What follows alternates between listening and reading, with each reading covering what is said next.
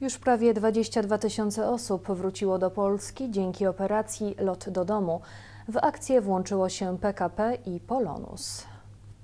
To już siódmy dzień operacji Lot do domu. Polskie linie lotnicze LOT podkreślają, że to bezprecedensowa w historii polskiego lotnictwa akcja pomocy Polakom w powrocie do domu. Jeszcze dzisiaj LOT zabierze Polaków m.in. z Bangkoku, Miami, Chicago, Wiednia, Edynburga czy Londynu. Łącznie na dziś zaplanowano 21 rejsów. Połączenia czarterowe planowane są na kilka dni do przodu na podstawie zgłoszeń polskich obywateli.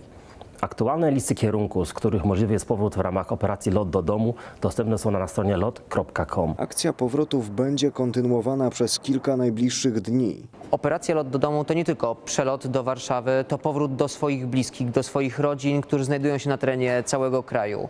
Dlatego też e, wspólnie z przewoźnikami kolejowymi, jak i kołowymi, a zatem PKP Intercity oraz Polonus organizowane są przejazdy dla wszystkich osób, które wylądują na warszawskim lotnisku Chopina, ażeby mogli komfortowo i bezpiecznie dotrzeć do celu swojej destynacji, do swoich rodzin, do swoich domów.